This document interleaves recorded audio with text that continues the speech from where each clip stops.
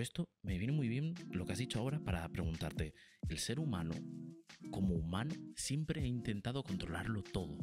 Todo. O sea, todo lo que pueda tenerlo bajo control, ¿no? De hecho, se intenta hasta con el clima. De hecho, hay países como, creo que en Arabia Saudí, que controlan las nubes, eh, crean nubes artificiales y tal. Basado en la teoría del caos, entonces, digamos que hay cosas que quizás no se pueden controlar. O sea, ¿crees que el ser humano es capaz de poder llegar a controlarlo todo? Wow, yo. uf, es una de estas preguntas, igual que entra un poco dentro del tema de filosofía de la ciencia, ¿no? Que es un tema al que yo, por desgracia, soy súper ignorante. Em, yo creo que todo, todo será, será complicado. Y desde, el- desde el- la perspectiva de la complejidad y tal, es complicado pensar que algún día sabremos todas las variables y podremos ya, ya no controlarlo, sino simplemente entenderlo absolutamente Entenderlo. todo. Es que tienes tan, hay tantas dinámicas, tantas tal. Sobre todo porque, porque llevamos mu- mucho retraso, porque como decía, el tema de la complejidad es algo moderno. porque tú piensas, eh, la física que te explican en el instituto es como... Es eh, muy reduccionista en el sentido de, tú quieres estudiar una mesa. ¿Cómo estudias una mesa? ¿O cómo estudiaba un físico la mesa? Bueno, pues la, la destroza. Rompes las patas, estudias la tabla, estudias las patas por separado, tal. Y así se venía haciendo la física y la ciencia en general. Casi siempre se ha, se ha- se ha hecho así, ¿no? Yendo a las partes que componen el todo. Hasta esto, en- creo que fue en los 70 también, hubo un físico que ya falleció, que, eh, que se llamaba An- Anderson, el apellido, eh, que publicó un artículo de medio de opinión muy polémico y sin, citar textualmente, pero el, artículo decía algo así de relajad la raja, que estamos destrozando demasiado, estamos mirando demasiado los ladrillos y no vamos a ser capaces de reconstruirlo todo. Y, yo voy, mi pensamiento, mi- lo que yo creo de cómo tendría que avanzar la ciencia va un poco también en ese en ese en esa perspectiva, ¿no? De vale, tener un set de Lego y desmontarlo para entender cómo está hecho funciona, pero te tienes que acordar de cómo de cómo volver a montarlo, ¿no? A veces está guay apreciarlo como un todo y no ir solo a las piezas individuales. De hecho, usando este ejemplo que has puesto, quizás el estudiar las patas y la plataforma, digamos, de, de la mesa no te hace estudiar la mesa en sí, ¿no? Claro. Porque al final estás estudiando sus pa- o sea, estás estudiando cómo se compone o cómo se comporta una pata. Ujú. Pero hasta que no está todo junto, no sabes realmente para que cómo se usa una mesa. Exacto. Sí, esto eh, en el artículo este que comentaba de Anderson, el, el artículo se llamaba eh, Más es diferente. Eh, Como que no, más no es más, sino más es otra cosa. Claro. Y decía algo, bueno, tenía algunas frases muy críticas sobre la física de partículas, ¿no? Que es esta, una física que acapara muchos titulares en, los medios tradicionales, ¿no? De han construido un acelerador de partículas más grande todavía, que nos va a permitir descubrir partículas más pequeñas. Eh, y sí, ok, eso está magnífico y hay que seguir investigando por ahí, ¿no? Pero lo que decía él era algo de, bueno, pero vale, cuando tengamos todas las partículas, eso nos va, nos va a ayudar en algo en nuestra vida cotidiana. Bueno, no hay que ser tan crítico, ¿no? Porque al final la- cualquier eh, descubrimiento, por muy teórico que sea, puede tener aplicaciones prácticas, Claro. eso sin duda, pero sí que tiene que haber otra gente que estudie, que estudie la física un poco más del día a día, ¿no? Que no hay que volverse loco em, haciendo aceleradores cada vez más grandes, cada vez más potentes. No todos los físicos, ¿no? Tiene que Claro. haber que, que se haber de a la- todo. a la vez, sí, sí.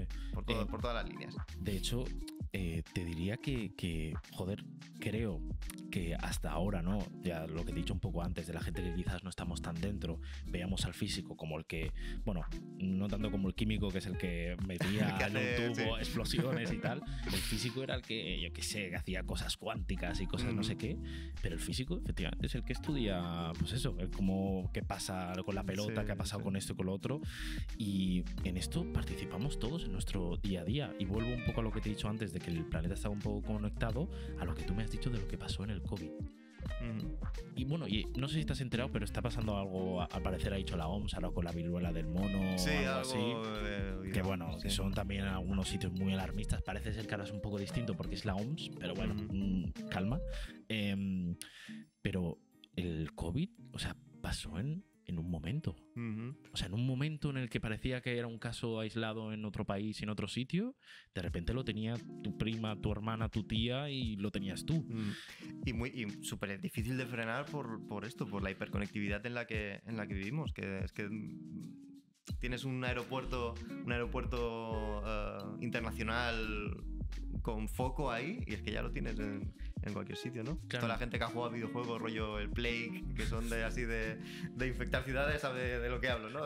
Es que eh, entonces, relacionado a mi pregunta de antes de poder, poder, digamos, controlar todo, igual las cosas externas no se pueden controlar, pero nosotros como sociedad, o sea, ha llegado un punto donde ya se ha ido todo al caos y ya no lo podemos controlar. Es decir, ahora mismo eh, nosotros como sociedad nos podemos, se puede controlar. Que aquí viene, que luego te hablaré un poco de, de, quizás que los, las herramientas para controlar no son muy éticas. De hecho, en mm. China se usan eh, bastantes cámaras de vigilancia y tal.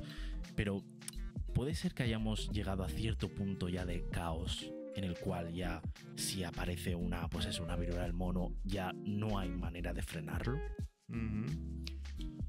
Wow, pues no lo tengo, no lo tengo muy claro, ¿no? Sí que, eh, volviendo un poco atrás, yo creo que a, la hora, como ahora todos emitimos tantos datos, eso es mucha información y la información nos permite entender la realidad y eh, después de entenderla viene el controlarla.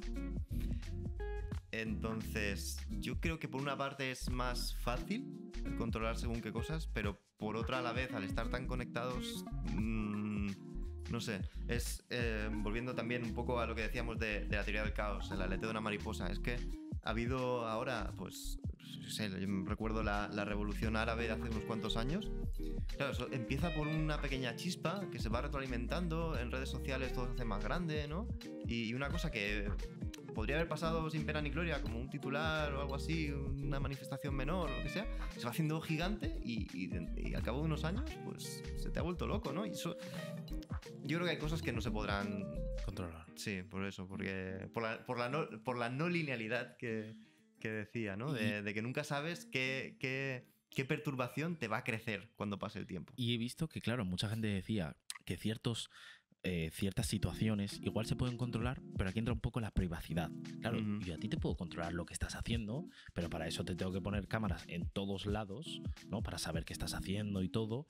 Entonces, eh, el control, digamos, de las cosas, igual controlar algo externo, pues pues eh, no hay, digamos, un presidente del clima o algo así. Pero claro, entre humanos entra un poco la barrera un poco de, la ética, qué cosas eh, realmente está bien controlar. Entender, entiendo que está bien todo, pero hasta qué punto es ético, pues, controlar que todos vayamos a una, ¿no? Como hay, porque hay ciertas sociedades, como por ejemplo Corea del Norte, que ya son dictaduras, o en otros lados, donde es verdad que el caos, digamos, es menor, ¿no? Porque eh, ocurren, hay menos atascos porque todos van muy pam, pam, pam, pam, pam, ocurren menos tal. Pero es menos ético y hay más privación de, libertades. ¿Cómo lo ves tú esto? Ah. no, lo tengo muy claro, no lo tengo muy claro, la verdad. Em, sí que es cierto que todo, toda esta investigación, plantear modelos de sociedad, es como que ayuda a, puede, puede ayudar, dejémoslo así, a, controlar más este tipo de, sociedades, ¿no? Eh, sí, imagino que la, pregunta va por em, seguridad eh, versus privacidad, algo así. Sí, porque igual si yo lo controlo todo, puedo hacer que sea más seguro, efectivamente. Sí. Pero, claro, lo que gano de seguridad lo pierdo en que eh, sé exactamente todo lo que estás haciendo. Yo creo que hay que encontrar un punto intermedio que bueno, que nos gustaría pensar que muchos de ellos muchos de nosotros vivimos en sociedades que están en un punto intermedio. Yo creo que habrá un punto ahí, un sweet spot, un sweet spot, se dice. Yo creo que hay que encontrar ahí el, el, compromiso entre ambas posturas, ¿no? Que debe ser complicado, por suerte son decisiones que no tengo que tomar yo, entonces. yo tampoco.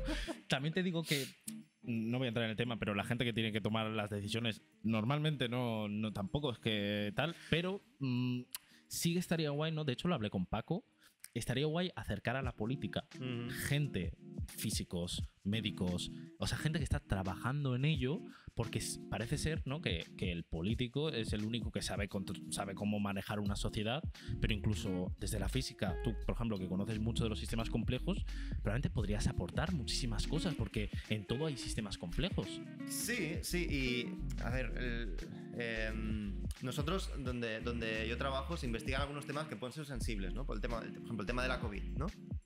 Claro, lo que pasa es que tú como, como científico, y yo hablo un poco de, de lo que veo, porque yo como tal no, no, no, no me dedico a la, a la academia ahora, eh, pero claro, tú, tú haces tu estudio, sacas tus conclusiones, haces tu modelo y tal, pero no, te, no, te, no es tu decisión, ¿no? Que muchas veces se echa la culpa de, no, es que los científicos no han descubierto no sé qué o no, o no han arreglado este problema.